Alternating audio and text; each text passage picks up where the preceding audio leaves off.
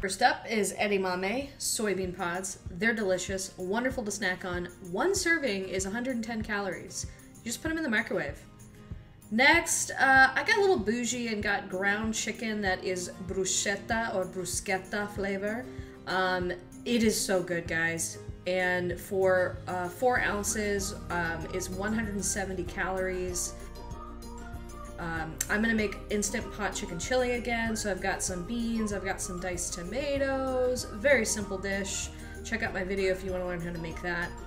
Uh, and then for my fruit this week, I just stuck with the classics. Uh, got some apples and then kiwi. Really love kiwi just to snack on.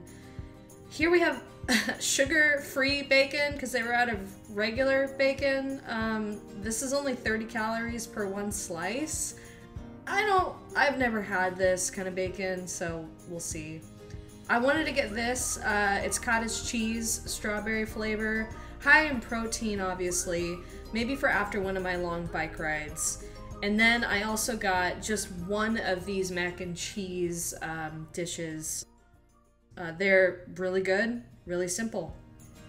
And I can't recommend these more. So, so good. Brown rice, uh, maybe mix up some beans with that or some tuna. And then, of course, my almond nut thins. Different color brand though, and this one says wheat and gluten free, just in case you didn't know. Classic pretzels, and then obviously some corn shacks that I use to snack on. Got some potatoes here. I usually eat potatoes for breakfast.